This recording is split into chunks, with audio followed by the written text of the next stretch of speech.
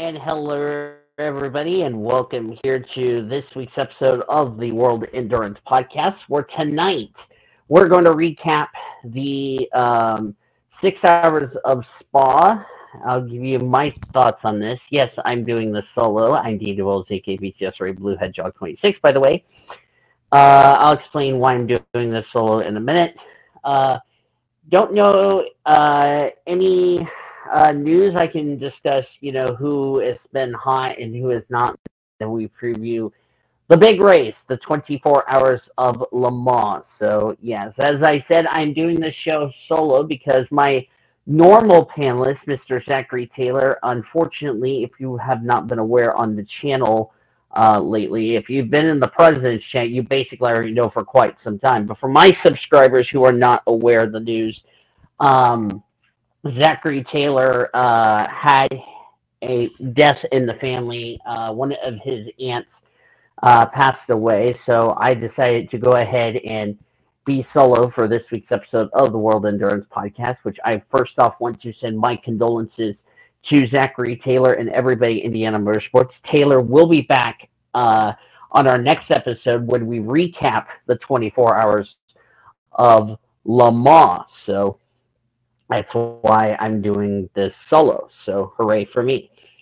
So let's go over uh, recapping the race at Spa, which was the six hour race. I thought it was a very good race, uh, considering uh, this race was at Spa Francorchamps, home of the Formula One Belgium Grand Prix, which we'll talk a lot more about that race later this year on Triple P, which we'll have a much more preview of that race later this year and uh, yeah, so uh, uh, it went to Hertz Team Jota's number 12 hypercar, which was piloted by Callum Ilott, Will Stevens. They won the race. Porsche Penske Motorsports with Kevin Estre, Andre Lotterer, and Laurens Vanthoor finished second. Lotterer did not take part in Formula E, which we'll talk more about that on Triple P for a much more discussion on Formula E and all that, yada, yada, yada.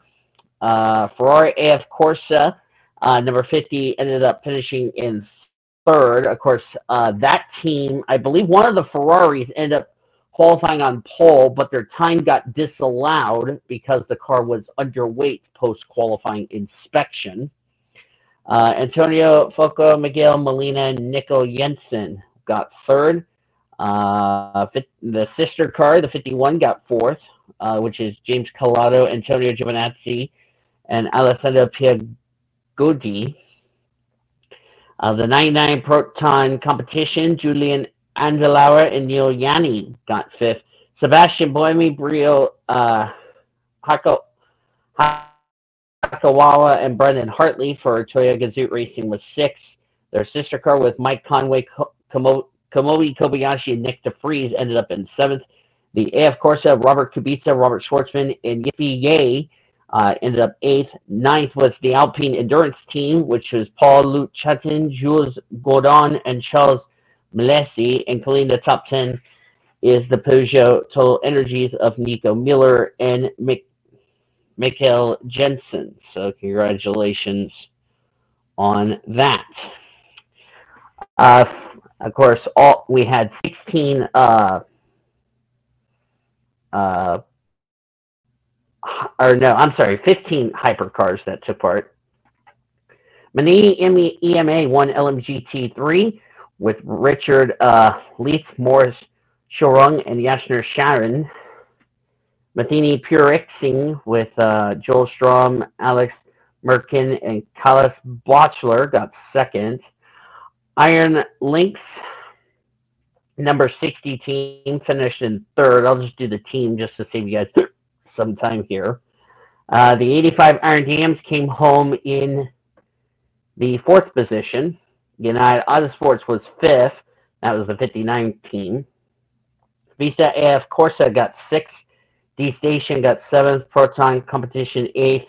Their sister car ended up ninth. And Akkodis ASP team number 78 came home in 10th. Uh, let's see. Uh, I believe that was all of the uh, all of the uh, um, cars here. And only one, two, three, four hypercars failed to finish, and then one, two, three, four GT cars also failed to finish. So eight of the 37 starters failed, uh, 37 entries that were at Spa all failed to finish. So that is a um, disappointing break. Of course, the team, of course, the hyper car standings. Uh, Callum Ilott, Will Stevens moved up to second. Uh, Andre Lotterer, Kevin Estre, and Laurens Vanthoor are still the leaders in the Drivers' Championship of the hypercar. In the manufacturer standings, Porsche is now up by 23 points over Toyota. Ferrari is third with 49, Alpine with 23, and BMW with 21. In the uh, World Cup, the 12 team has 78 points. Of course, is 67, 41 for the Proton competition, and her team Jota ends up is with 18. Uh, Joe Strong, Klaus Bachler, and Alex Malykhin lead the championship. Uh, Augusto Farfus uh, and that group are second. Ian James are actually tied with Ian James and Company for second. Uh, Valentino Rossi is fourth in the championship standings for the G- LMGT3. Marco Sorensen and his two teammates are in the top five. And then in the Manthey PureRxcing team, they lead by a healthy margin over Heart of Racing and Team WRT, or tied for second. The 46 team is now fourth in the standings with 36, and D Station Racing with 30 on the board. So, like I said, it was a very good race. Uh, this race was really a lot of fun. I really thought uh, the racing was really exciting, and I'm really excited to see what we're going to see coming up this week when we get ready for the 24 hours of Le Mans. So, hooray for that. Um, if I was the, uh, I can tell you who it was. It was the, yeah, it was the number 50 car who would have started on the pole, but like I said, their time got disallowed because of the underweight, which had to start at the back of the grid, which is too bad. So, yeah. And uh, yeah, we are now three races into the World Endurance Championship for 2024. And as I said, I'm going to go ahead and preview the big race, the Le Mans deal. So, hooray. Uh, Le Mans. Really going to be interested to see how this race is going to play out. 24 hours. It's almost going to be like the Rolex 24 from the IMSA race. And by the way, if you want to see more of my thoughts of the IMSA race, don't forget to tune into the IMSA podcast later tonight, as I will go solo for that event as well for a much more discussion on the IMSA weekend. Of course, I still got a couple of IMSA stuff to discuss from uh, Miami and Laguna Seca. You will see that later tonight at 11 p.m. Eastern Standard Time. But endurance race, I, I've done this 24 hours of Le Mans, I think it was like two years ago. Um, I've done a full race with the LMP3. Um, you got to stay on course. You got to um, expect the uh, day to night because, unlike Daytona in the IMSA podcast we talked about earlier in the year, and Zachary Taylor and I will attest to this. Um, you're racing on streets. You're racing on public roads that are shut down for the weekend. The Mulsanne Straight. Um, so, so most of the track is basically most of the track. Sorry, I had to take a drink here. Uh, most of the track is basically street, public streets that you don't see for racing. Of course, uh, if you, I mean, the Mulsanne Straight is longest, but you have the three chicanes the first one is like the PlayStation, then it's the uh, I can actually pull up the track map as we're talking about this Circuit de la Sarthe. Um, let me see. I I have the trek here.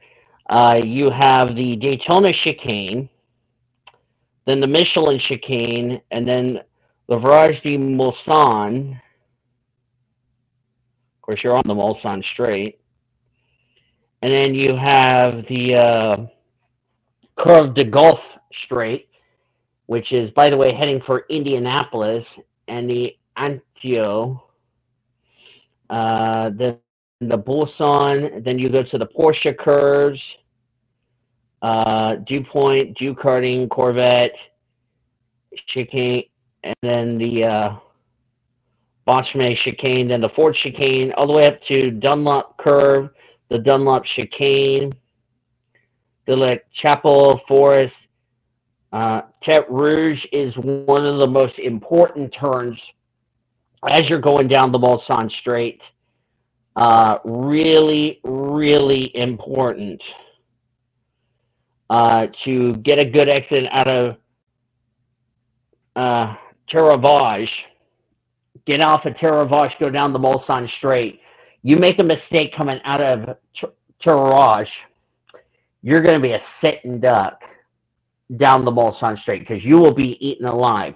You get a poor exit out of one of the chicanes, you're just going to get eaten alive in that nature. And you know, last year we had uh, the Gen Seven car for NASCAR who ended up completing all of their laps, even though they had a mechanical problem towards the end of that race, but they still finished the race eventually, which good for NASCAR. Which I will talk more about NASCAR on Triple P, which we will have a much more discussion on the weekend's races from Darlington and also the truck race from North Wilkesboro. You'll see that tomorrow night. Um, but back to my point, you know, you got to get a good run because, like I said, I've done the 24 hour uh, deal. If you want to see my uh, perspective of the entire 24 hour race, I will have the link of that down in the description so you guys can go see uh, a full lap because it takes about three and a half minutes around this uh, very long but daunting course. So um, this is, like I said, the 92nd running of the biggest event ever. Um, 24 Hours of Le Mans has been going strong uh, from 1949 to now, uh, which is pretty pretty insane to tell you the truth. Uh, it is a 38 turn, 13.626 uh, miles. So, in other words, it's an eight mile road course. And like I said, and you know, uh, we've seen it in NR competition. Lisa Gonzalez, Annie Thomas, and myself have raced on this track before. We know the dangers of having good uh, racing. And of course, um, hopefully we don't see a death in the deal. And the funny thing is, uh, last year was the 100th year we've been racing at Circuit de la Sarthe. It is a 101 in 2024. And like I said, this is an FIA grade two because, like I said, it is an endurance track uh, you see in the process. So 38 turns, like I said, really important corners is Terravage coming out, going into Indianapolis, you got to get a good exit off these corners. Like Terravage got to get a good exit. Got to get off the good exit out of the Daytona Michelin chicanes because if not, like I said, you're just going to be uh, you're going to be hunted down like an alligator, and it ain't going to be fun. And then you're trying to play catch up. So, um, and of course, we've had um, deaths in the race, like the 2013 uh, running of this event. We lost uh, Allan Simonsen, who lost control coming out of Terravage, slammed his car into a tree, uh, and did a lot of damage to that car. And unfortunately, he passed away. So I think, you know, for this race, uh, we're already honoring him uh, ever since he passed away uh, in 2013. I think it was either 2013 or 2012. Either way, um, you know, it was a sad day, and you know, I, I don't like see um, drivers passing away or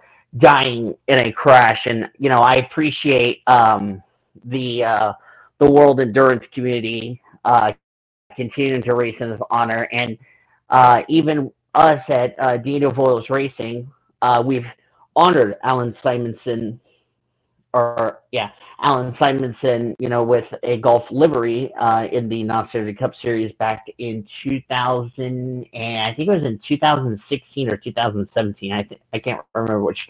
2017. That's the uh, year, but um, you know, this is a very very fun race because, like I said, if you win this race, it's like winning the Rolex 24, where you get like uh, an amazing watch and all that. So you know, and like I said, you know they had uh, the Gen 7 car there, uh, and it did its first test, and they did a good job. So, you know, last year was a fun race. Weather could be a factor in this race, uh, which, by the way, brings me to my keys to the race. Weather will be a factor.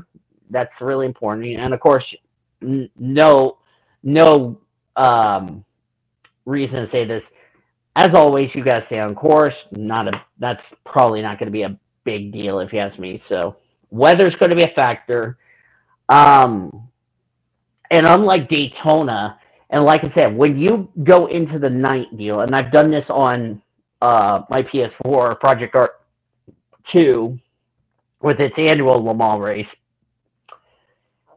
it is so dark you can't even see. And and thank God there's headlights on these cars because you're going down Mulsanne at night, you don't even know what the hell you're going to see and all that. Thankfully, you know, the uh, the French marshals, the corner workers, we call them here in America, um, will uh, make sure uh, will make sure to uh, keep an eye, making sure the GT cars see the prototypes, make sure they get by them without much of an issue. Because, like I said, we've seen it in years past where whenever a prototype tries to pass a GT car, there's a 50-50 chance it could end in disaster, like Anthony Davidson who flipped, uh, Allan McNish's accident uh, coming out of Dunlop. It's really and like I said, this track is the is probably the most dangerous track on the World Endurance calendar that we go to every year. And a lot of people ask me, why is it always dangerous? It's because you're running about 327 kilometers down the Mulsanne Straight, which is, by the way, the fastest part of the circuit. And a lot of times when you race at Le Mans, drivers have a tendency to uh, make a mistake and there could be some serious consequences. So I hope we don't see any of that in this year's running of the of the 24 hours of Le Mans.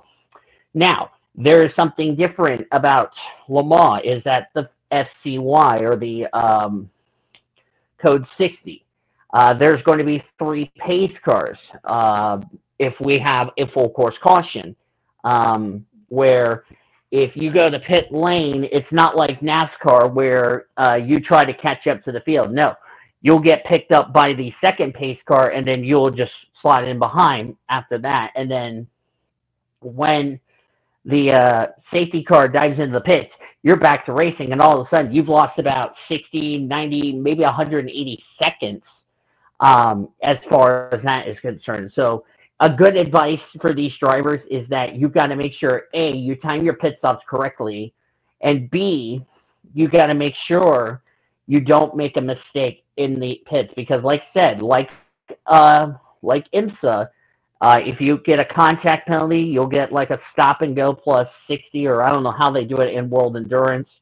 Um, you'll you could get a drive through, or in what we saw at um at Spa, which was a controversial penalty, you would get a grid penalty, which uh, I think one of the hypercars has a five grid spot penalty, which made no sense because and and what happened was he was getting ready to lap a GT car, and this was coming out of. Um, uh, this is from Spa, by the way. Let's see. Uh, go through a Rouge Raidillon. This is going down uh, the Kemmel Straight. He was trying to clear a GT car, and they made contact, and somehow uh, the World Endurance official said it was uh, the hypercar's fault, which, in my personal opinion, uh, there's not plenty of room for like three or four wide, especially when you're going uh, as you can go away, wins it. as you're going down the uh, Kemmel Straight, and you know, and like I said, one little mistake like that, and like we talked about in our race preview, is that uh, you got to make sure you don't go three or four wide. I mean, three wide's okay on the Mulsanne Straight, but the rest of the circuit, if you try to go three wide, that is e- that's going to equal a recipe for disaster. So um, that's going to be important for these drivers. Traffic is going to be really important, and also not going three wide is going to be really important. And also the weather. We've seen it in past where you know all of a sudden it buckets down rain.